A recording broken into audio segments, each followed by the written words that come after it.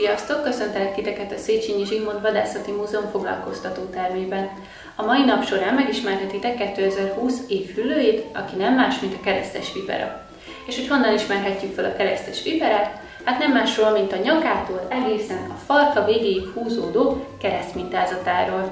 Láthatjátok is mellettem, hogy kicsit vastag ö, teste van, illetve hirtelen vékonyodó farka.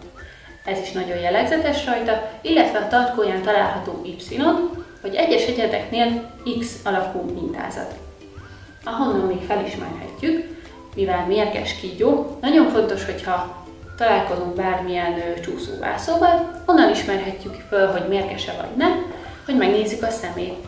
A szeme általában a mérges kígyóknak narancsárgás vöröses színű, a pupillájuk pedig függőlegesen hasított, olyan, mint a macskáknak a szeme. Hogyha megfigyeljük ezt a képet, láthatjátok, hogy két különböző színben láthatjuk a keresztes viperát. Ez azért van, mert itt a nagy képen is, illetve az alsón láthatjátok, hogy ők szürke színűek, a hímek általában szürkések.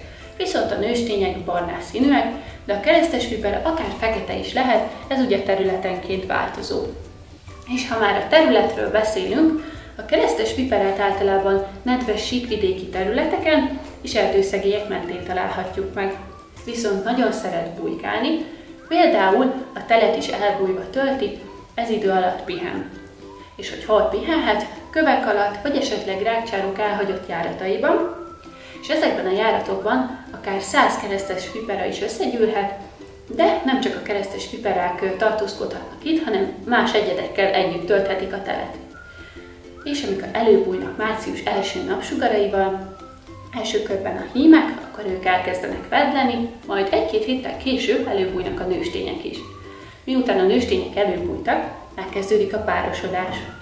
Amit a párosodásról tudni kell, illetve a keresztes viperák szaporodásáról, hogy ők áll eleven szülők, ez azt jelenti, hogy a nősténynek a testében fejlődnek a kis viperák körülbelül 75 és 100 nap közötti időtartamig, majd ezután egy átlátszó burokban születnek meg ezek a kicsik.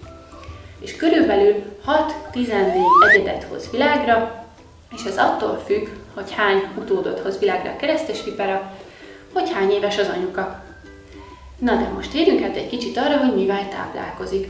Ő egy ragadozó állat, méregfogakkal is rendelkezik, éppen ezért ő fülek kis táplálkozik, illetve ö, ehet akár kis madarakat is, illetve gyíkokat, vagy akár békákat is. Fontos megjegyezni a keresztes vipáráról, ugye az előbb említettem, hogy méregfoga van. Éppen ezért nagyon fontos vigyázni vele, hogyha túrázni megyünk, ugyanis bár nem támadó természetű, első körben elmenekül előlünk. Viszont, hogyha véletlenül rálépünk, akkor sem kell megijedni, mert egyből nem fog marni. Első körben, mint a cicák otthon, fújós hangot fog kiadni, illetve ö, sziszegni fog ránk, de nagyon fontos, hogy ne akarjuk őt fölvenni, ugyanis akkor megmarhat minket, és ez iszonyatosan tud fájni. Amit még fontos megemlítenem mindenképpen, hogy ő fokozottan védett állat, ezért kapta a 2020-as év hüllője címet, illetve a természetvédelmi értéke 250 ezer forint, úgyhogy nagyon vigyázzunk rá, és inkább csak messziről nézzük meg, hogyha esetleg ö, meglátnánk.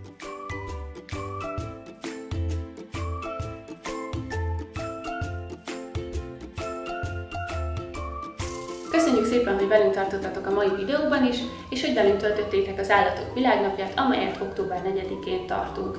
Az állati móka videóinkat pedig visszanézhetitek bármikor, és kövessetek minket továbbra is a különböző csatornáinkon. Sziasztok!